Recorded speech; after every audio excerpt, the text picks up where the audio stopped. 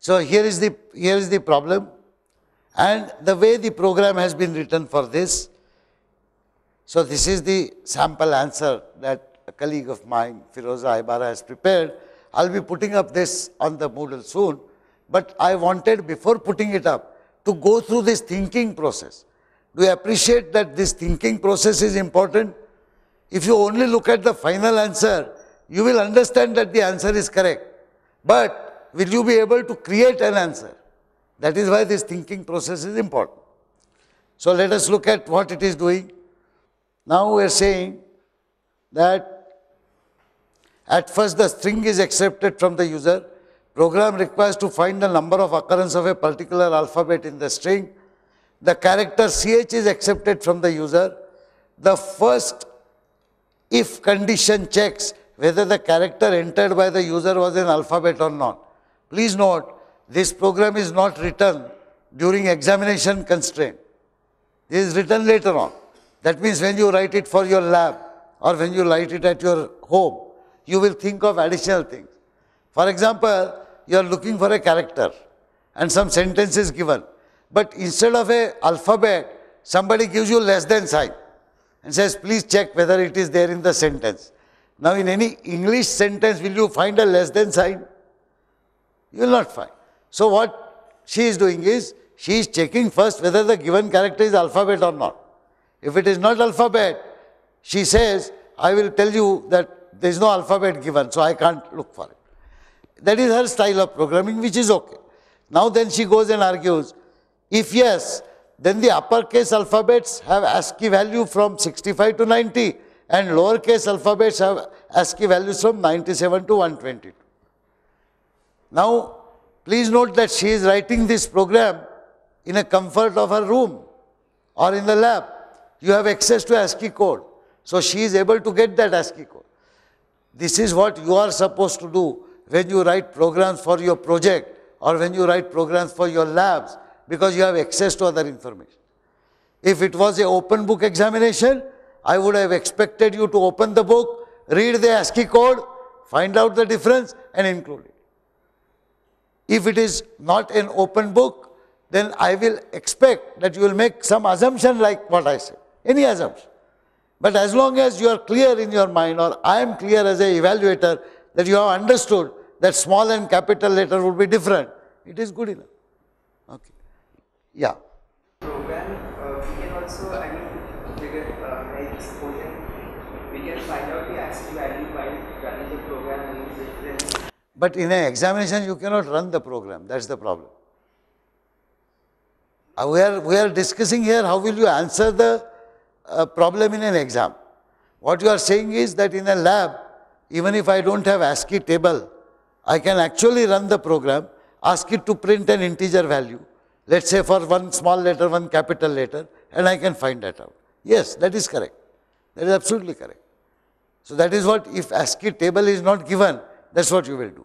In fact, he is suggesting that you can actually write a test program and get these ASCII values. He is right, and that is the approach you will have to take in the lab or while doing the project when you are doing something more complex. Why ASCII code you should not do it? Because ASCII code is such a standard thing that it is available and accessible everywhere. In fact, in less time than what you will take to write this test program, on the same computer you can go to internet and ask for ASCII code table. You will get the entire code table. I mean to say writing it in this, uh, by answering this only, Huh.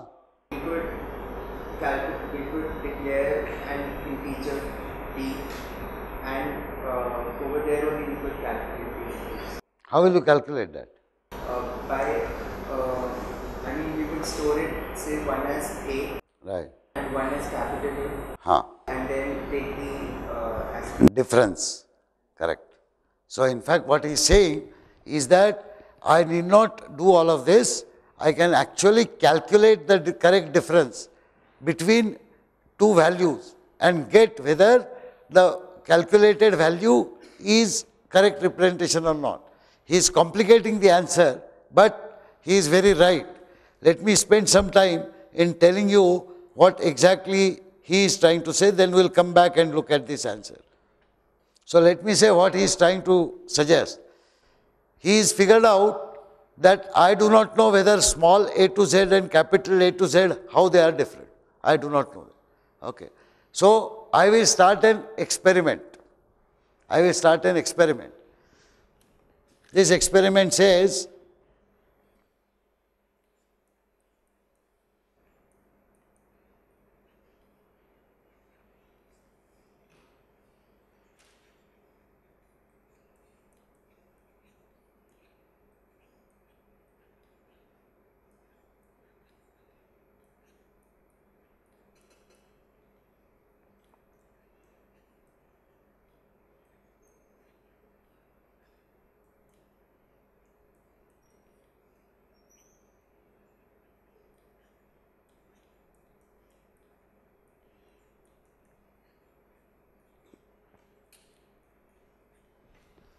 We do not know what small letter, capital letter is. So you see what he has done is, in a very small time, he has thought of a another pro examination problem, which he says we should solve as a part of this question only. We are trying to attempt to do that. Okay? Nothing is given. How will I discover ASCII code table and how will I find this difference is the issue. Okay. So let me define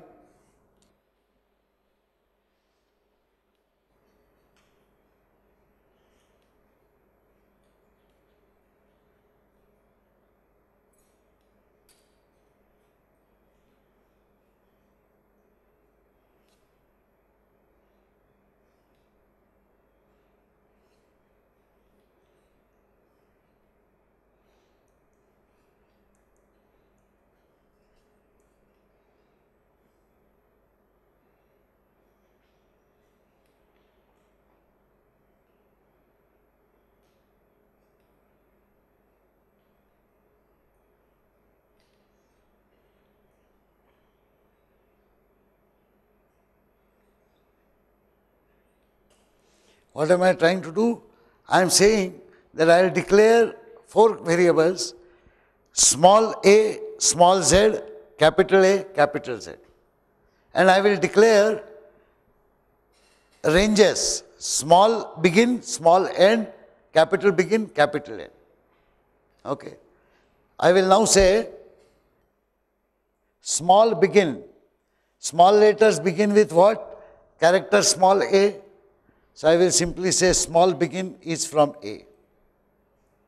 Okay. Where does small end ends?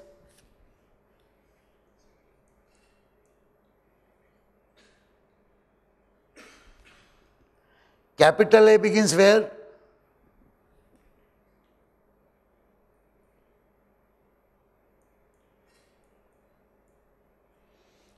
Uh, sorry, capital begin and capital end where? Agreed? So whatever is the ASCII code, it will come and sit in these integer variables. Now I know the range of integer variables and I also know the difference. The difference is difference between any corresponding characters. So if I say now D is equal to SB minus CB and I also know that what is the range of, start, uh, small and big characters. Now, D is SB minus CB, that is uh, small beginning and capital beginning, or AC minus C, it doesn't matter, it's the same. Now, given a character, here is the question. Given CH,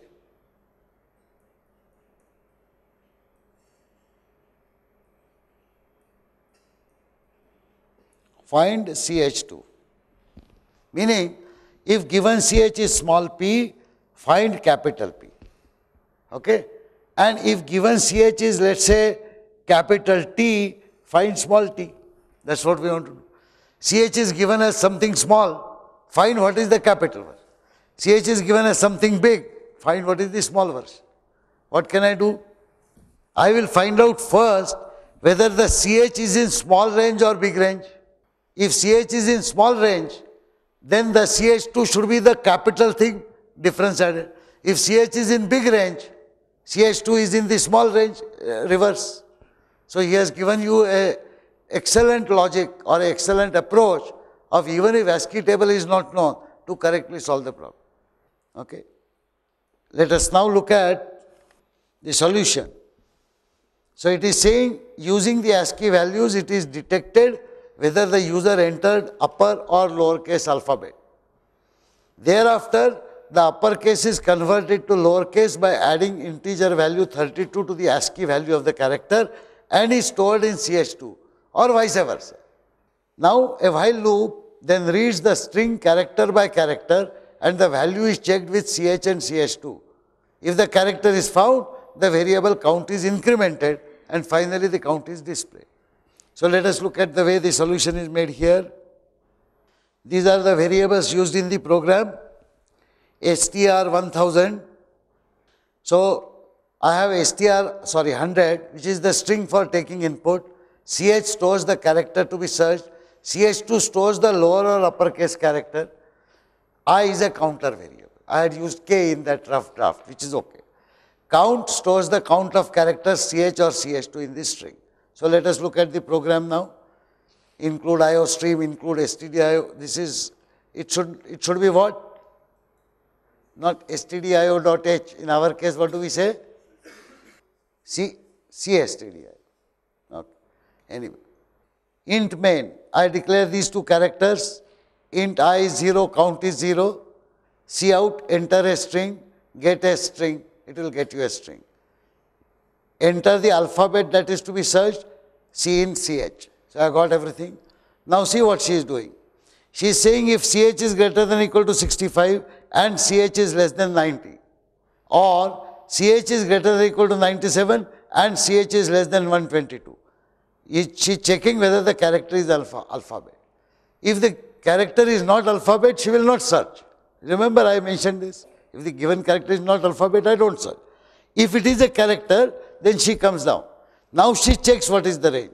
If this is the range, the character is uppercase alphabet, so CH2 is CH plus 32. If the range is other one, else CH2 is CH minus 32. So exactly what you were saying, she is doing, except that she knows now, because she has access to ASCII table, that the values are different exactly by 32, and what is the range of small case and what is the range of upper. In your case, if you really want to write the program and find that out, you will have to do that work which I said. Find out small a, small z, capital A, capital Z. You get the range. And the same range you can check here. So instead of 65 to 90, you will check from AC to uh, S, SB to SC and C, CB to C, capital beginning to capital N, small beginning to small n, and appropriately adjust the D, what you want. In any case, you have got now the character here and the search is now very simple. Having got this CH, you are saying she is not even finding out the string length, although that would have been easier. We had used a loop for i equal to 0 to n minus 1. What she is doing is, she is doing a loop while the ith element of string is not backslash 0, which is end of the string anyway. So she is explicitly checking for that. And she says search till end of the string. What I have to search, if it is not backslash 0, then I have to find whether the ith character is either ch or it is ch2. If the character is found, I increment the count. Otherwise, I can complete this if statement, but because it is while, the i will not be automatically incremented. So I am incrementing it here. Next character. The comment is not correct. I am not reading next character. I am comparing next character. So I compare next character and go back and do that. When I come out, the character ch has appeared count times in my program. There is an else. Why there is an else? She started with an if. If the given character is not an alphabet, then if the given character is an alphabet, do all of this. Otherwise, she says the character entered is not an alphabet, returns it. Now, some of you would have written the program, if you were to do the same check, you would have said, if the given character is not an alphabet, give a message and return minus 1 or return 1. Khatam karo, program khatam ho gaya. And then you could have written the rest of the program. You got how, how this, this particular problem is solved? You can, what he is suggesting, let me elaborate. What he is saying is that suppose the given character is not present there at all, then this program will produce an output given alphabet occurs zero times in the sentence. Logically it is correct, but that is not how you answer the English question. How many times character B appears in this sentence? Will you say it appears zero times? Generally say it doesn't occur at all. So what he is saying is, he would like to put an if statement. If count is greater than zero, then you say it appears so many times. Else, you say given character does not appear at all. That's a better way of doing things. Have you done it like that? Or you did not get your answer sheet? So how many marks do you expect? You expect full marks? Somewhere else you might have made a mistake. You don't know. Okay. But you have understood now how this problem is to be solved? Okay. Let us go to the next problem. Question 5. So what does the question 5 say? Let us read that question. A value of x is given such that x is greater than 1. We need to find the sum of n terms of the following series where value of n is given. Okay. So our thinking starts now. What do we write?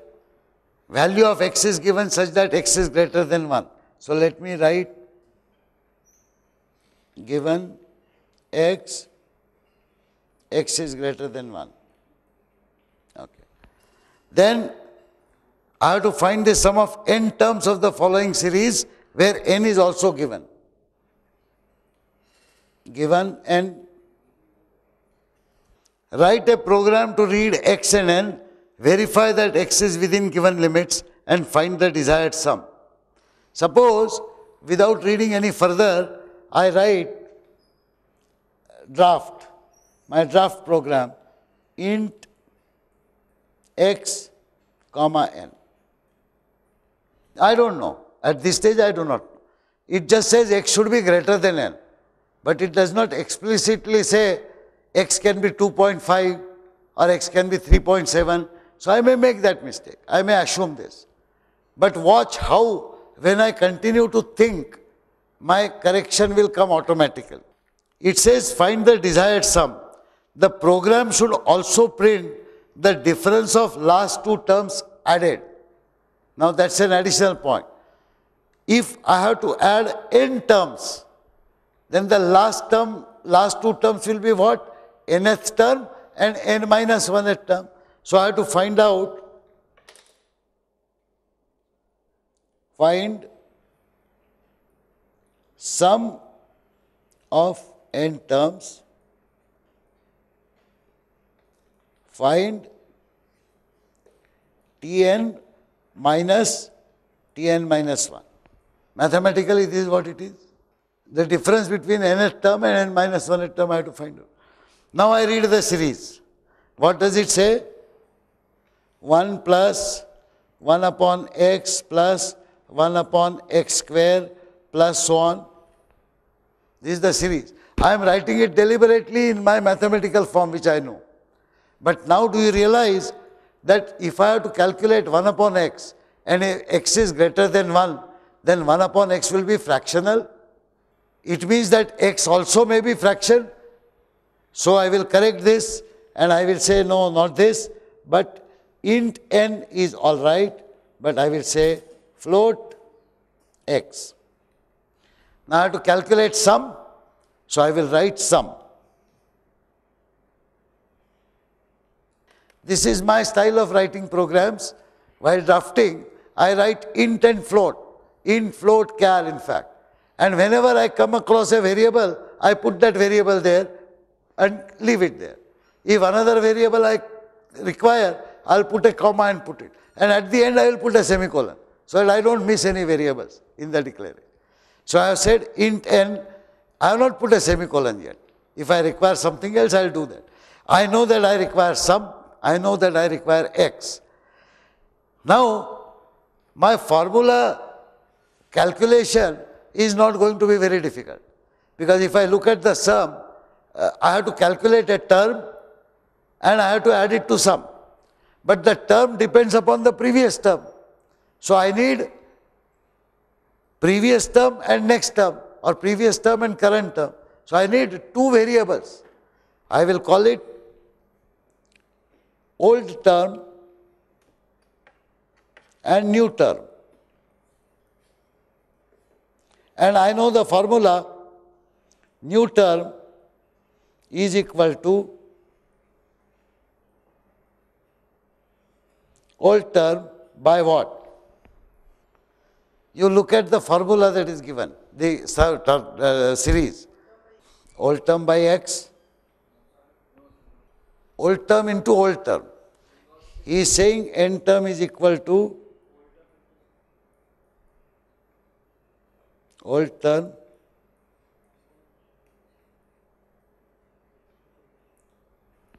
he is saying by looking at the fourth term. Fourth term is 1 upon x square.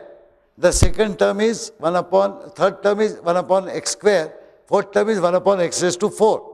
x raised to 4 is 1 upon x square plus into 1 upon x square. Therefore, he is saying old term into old term. Okay. The old term is 1, the next term is 1 by x. So, the first formula applies. Here is the other alternate interpretations. The net internet interpretation is that one, there is no unique answer to the next term in this given series. I can actually come across, come out with different formulation for the next term which will fit this present series. As it is, you find that these two equations which you have given do not fit these. If you have to take one as the first term, 1 by x as the second term, 1 by x square as the third term, and 1 by x raised to 4 as the fourth term, what is the fifth term? No, so what is the uh, uh, nth term? Okay. Here is a possible interpretation in a programming course. If this was a course in maths and in series, you would be expected to work out what is the nth term of the series and you would have to think mathematically.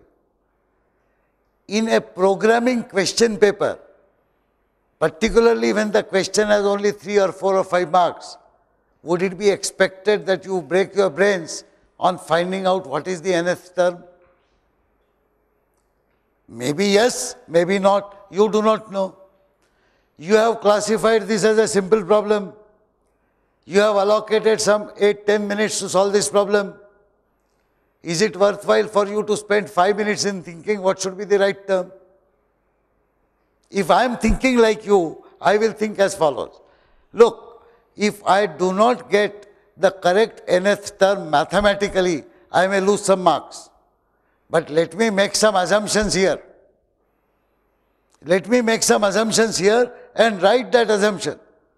I believe as a student of programming that as long as my solution is correct as per that assumption, I should get marks for programming. The fact is that if I can figure out what the correct nth term is, then I will still be implementing an iteration. I will be still calculating nth term from previous term and I will be finding out the sum. That logic is correct. So, my inability to find the nth term, I may lose maybe half mark or one mark, but for my program I will get marks. Now I have to decide whether I should struggle mathematically to find the correct nth term which will satisfy all these terms or I should spend time in programming. My logic would be that I know there is some confusion. I will take some assumption. As long as I state it,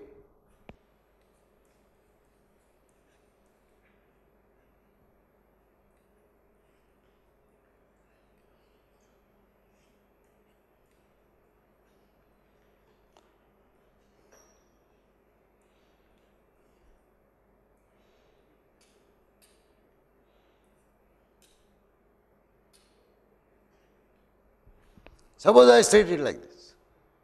As long as I state it and then implement it, it is correct.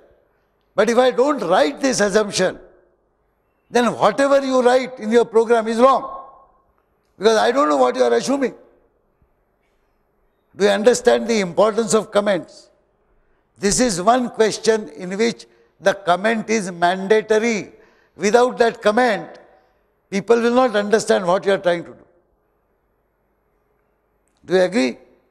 If you don't write a comment, you have something in mind and you implement it. Now, whatever you write, whether you have implemented as per your own assumption or not, I cannot check. Either your writing should be such that absolutely correct new term is calculated, which is not very easy. We have spent some time, we have not been able to come up with that answer. Either we do that or we make an assumption, write that assumption. But once you write an assumption, let me say this is my assumption. Now what I have to do now? If this is my assumption, what is the program? Simply, yes, he is suggesting define an array and define a for loop, calculate each term, store it in every array element, and once n is over, then you take the nth term and the n minus 1th term, find the difference, and otherwise you sum all of them. But here is a point. When I have to sum an array and I require only two terms to find the difference, is an array justified? Can I not keep circling old term, new term, old term, new term and get the final sum? Every time I calculate a term, I, I add it to the uh, sum. So let me write both the versions. Let us write one version that he is suggesting, one version that I am suggesting, but let us see how both of them can be written in a reasonable time very quickly once this thinking is clear. So what is our thinking? N term is old term by x. That is our thinking. With this assumption, we write as per these two approaches. First, we write his approach.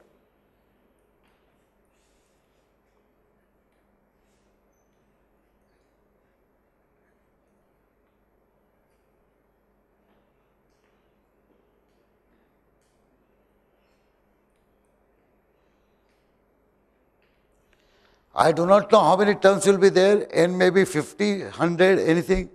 Again, I will have to write here an assumption. Mac n is less than 1000.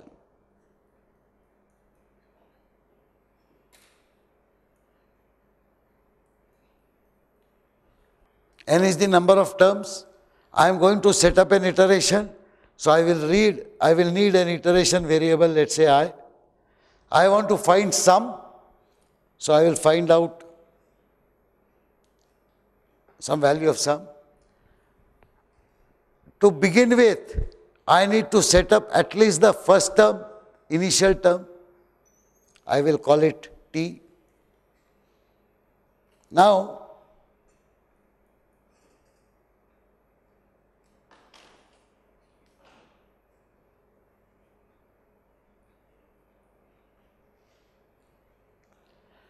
to save time, I am not writing cout, etc., etc. I am just reading these two things.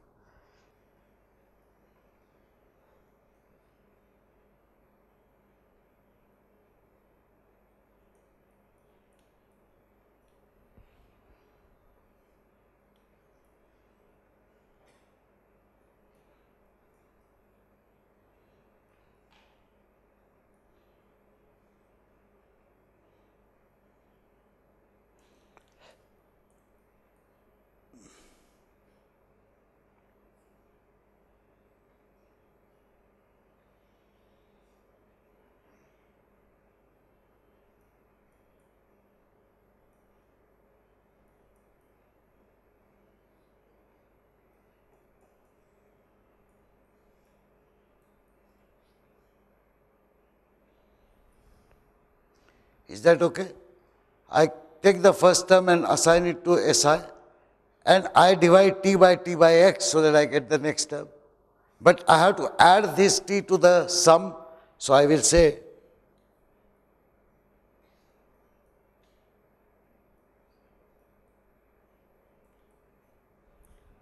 and I have to find out the difference d. So I will set the difference d as this term here and I will say d is equal to S n minus 1 minus S n minus 2. Is that okay? 0 to n minus 1 are the n terms. My nth term is in Sn minus 1, n minus 1th term is Sn minus 2. I will have this here. So I have calculated it correctly.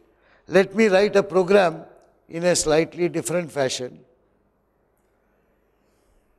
Because what I notice here is that the array S is not playing any big role. In fact, even if I remove SI equal to T statement, my sum will still be correctly calculated.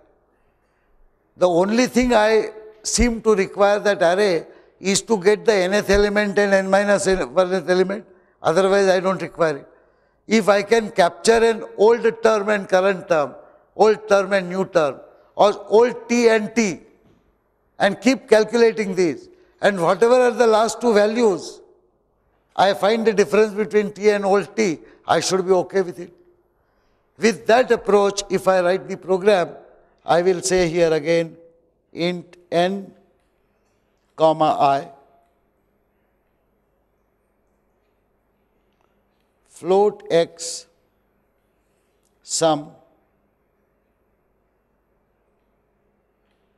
t old t and d for difference. I will read cin x and n. I will start with sum is equal to 0. I will start with old t equal to 1.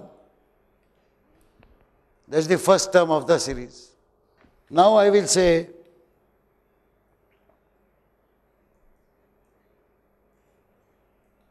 for i is equal to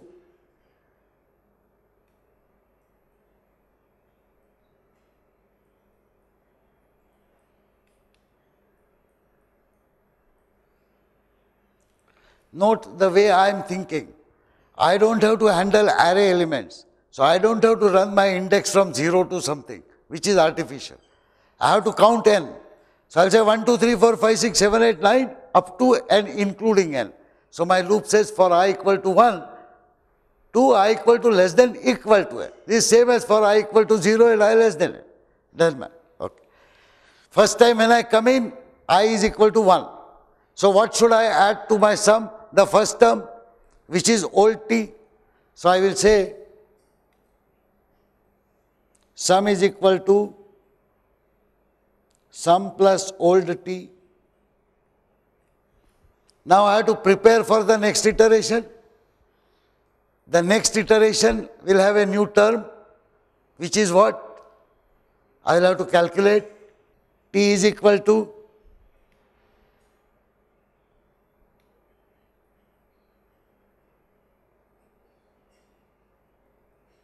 because we have said that new term is equal to old term by x, our assumption. If somebody had said x square, I would have said x square. If you had a more complicated phenomena for finding out the next term, suppose like Fibonacci series or Hemchandra series, it depended on two previous terms.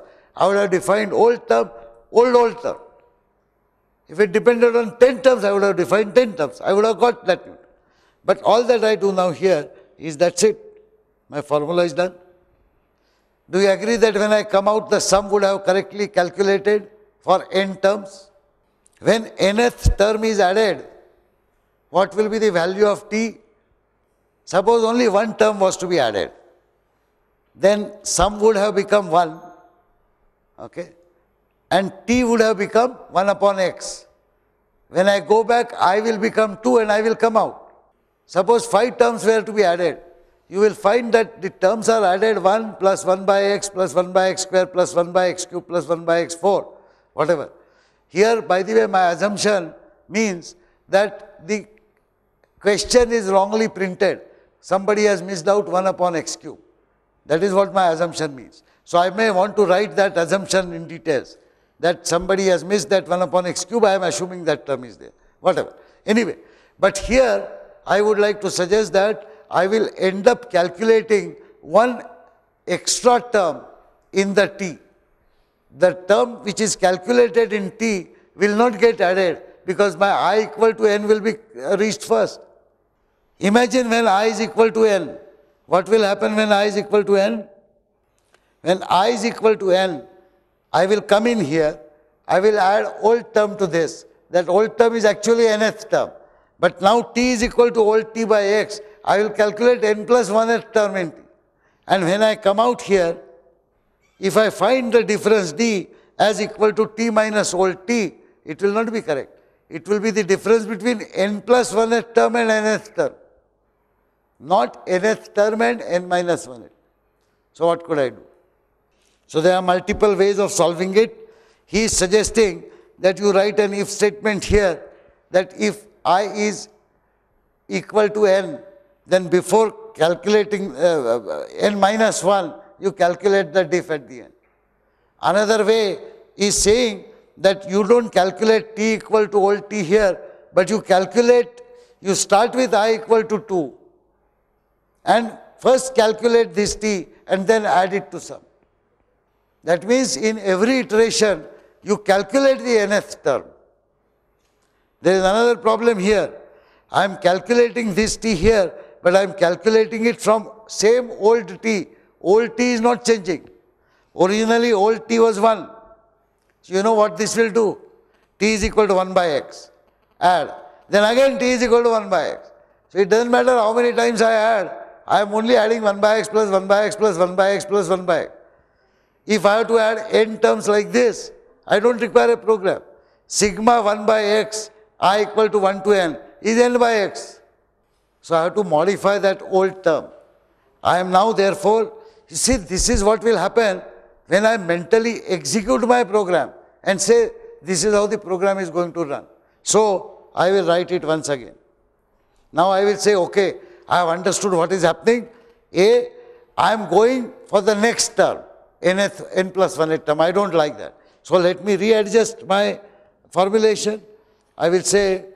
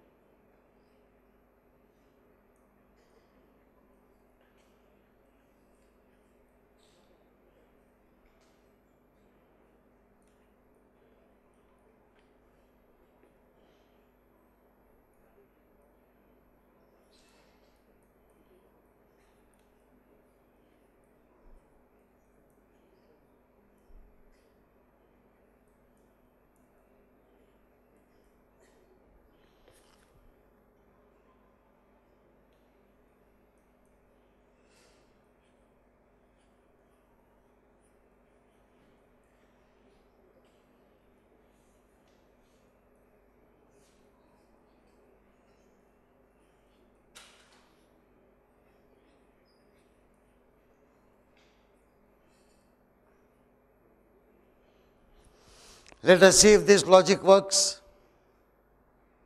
Tell me whether this logic works. I start with sum equal to 0, old t equal to 1. Then I am saying sum is equal to old t plus sum. What does that mean? I have already added the first term. When I do that, my sum is equal to 1 already. So I already added first term. Now I have to keep adding second term, third term, fourth term like that and keep calculating second term, fourth term, fifth term like that. So see what I am doing? I am saying i is equal to 2. I first calculate t. t is equal to old t divided by x. So that is correct. Old t was 1. It will be 1 upon x. Then next time it will be 1 upon x square, 1 upon x cube. I add that. And now I set old t equal to t. So when i is equal to 2, at that time t will become 1 upon x and old t will become what? 1 upon x at the end. Is that correct? What will happen when I have reached n, nth term?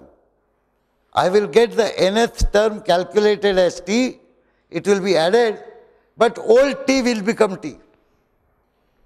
Yeah, bolo bolo. This is, see, please remember, we all thought this was a simple problem. We have allocated how much time for this originally? I am now coming back to examination strategy. We had allocated some 10 minutes for this. We already tried three different tricks. We seem to get the sum correctly, but we are not getting the difference correctly. What he is saying is that look, instead of getting into all this jamela, I want nth term and n minus 1th term. I will explicitly say, if i is equal to n minus 1, then some value uh, P1 is equal to this term.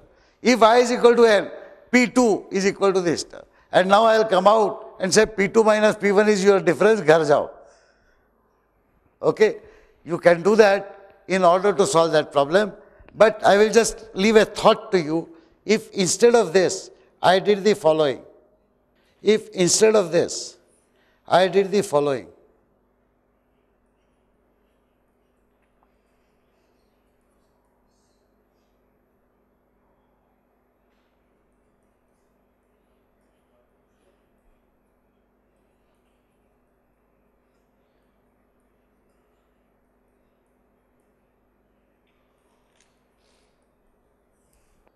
I start with some t initially.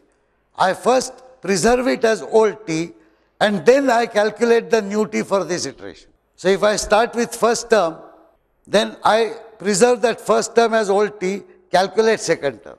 Next time when I come, I'll preserve second term as old t, calculate the third term. This will work provided I had set the initial value for the term and not for the old term. All that I need to do is Instead of saying old t, I will remove old. I will say t equal to 1 and I will say sum is equal to t plus sum. See, if I did this, initially sum is 0, term is 1 and sum is equal to what? t plus sum, that is first term added. Now for t equal to 2 to n, I am doing the following. First I am preserving t as old t. Remember t was 1, so when i is 2, I have t as first term. I preserve it in old term.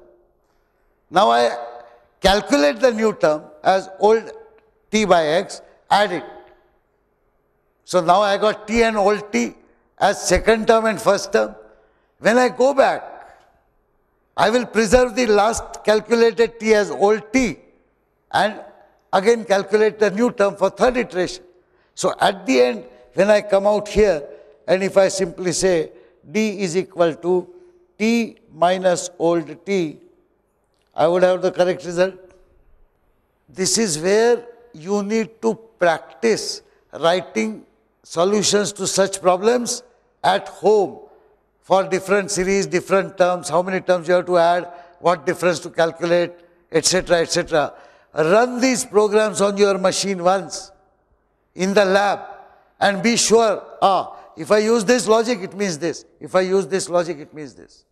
And that is the advantage of an open notes exam. If you have written such program, and not only the programs you have print out, but you have written comments in your notebook that if this has to be the calculation, this is the logic. If this has to be the calculation, this is the logic. Then, in an exam time, you will not spend too much time. You know exactly what it is. In fact, it will be in your mind. Once you have written it down somewhere, once you have tried it, you will never forget it. Okay. So do you agree that this kind of logic will work? But more important thing, if I put a semicolon, the iteration will terminate there itself. You don't have to because when you say i is equal to 2, i less than equal to n, that i less than equal to n will terminate the iteration. Remember the condition is always checked at the beginning of a for loop. So initially itself, if uh, uh, i is uh, not less than or equal to n. If n is 1, the iteration will terminate without doing anything at all. that is guaranteed by the for loop. So I don't have to test it. Okay. So this is this is one one way of solving. Let us very quickly look at. So this is the problem. Let us look at the sample solution. She has solved the problem that you are mentioning by assuming n is greater than 3. And by the way, that is not an illogical assumption because anybody who was wanting to add only one term of the series would not have come to a great programmer like you to write a program. Okay. So, this is a reasonable assumption.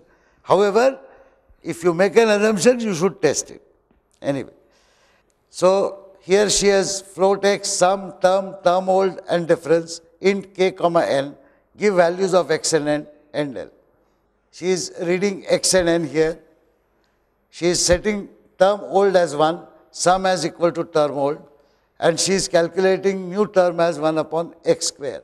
According to me, she should have written here a comment. It is assumed that the successive terms are 1 upon x square times the old term. If you write that assumption, in an exam situation, that is correct. Sum is equal to sum plus term. So she is adding two terms independently. First, term old and next, the new term. So she has now the two consecutive terms as the current term and old term.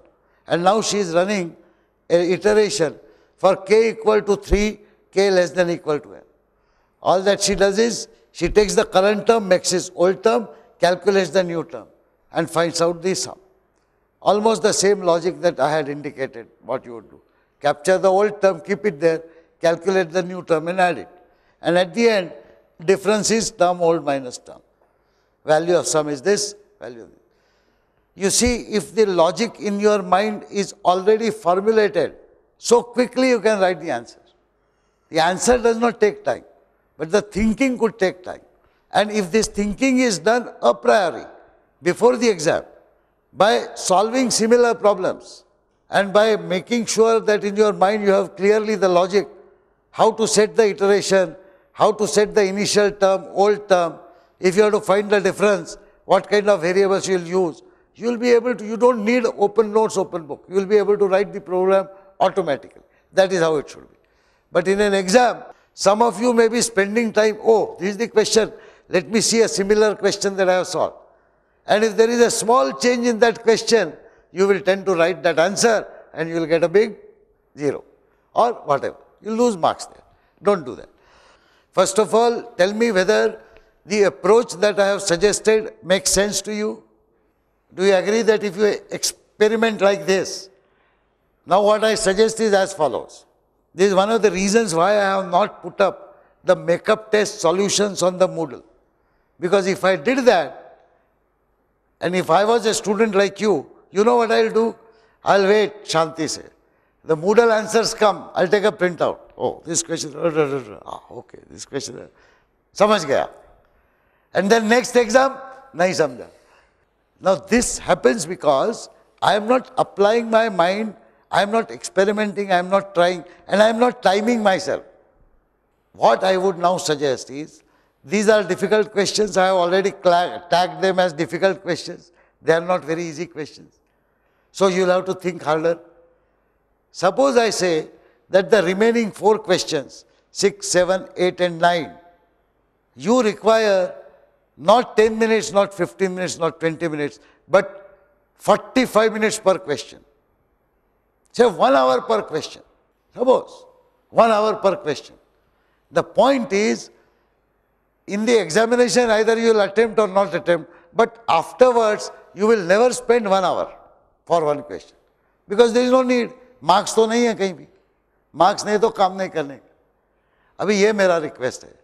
अभी ये paper है आपके पास copy है. अभी एक एक घंटा एक एक सवाल पे लगाइए.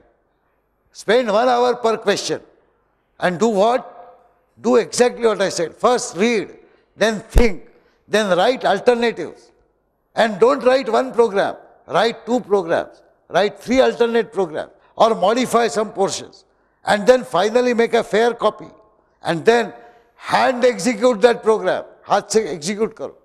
Find out whether it works or not. You can do all that if you spend one hour per question. You can't do that if you spend 15 minutes. In 15 minutes, you can only read an answer and understand it. But you will take one hour to construct it. Here is my request to you. Spend one hour on each of these questions, each of these questions, and understand the principle. Within this week, I will be putting on the Moodle not only the answers which Firoza has written, but I will be putting up additional explanatory notes saying that if I think like this, my solution will work like this. If I think like that, my solution will work like that. Then you will see alternate answers. You may find that what you have thought is a third way. That is perfectly possible. But you have to make sure that the answer is correct.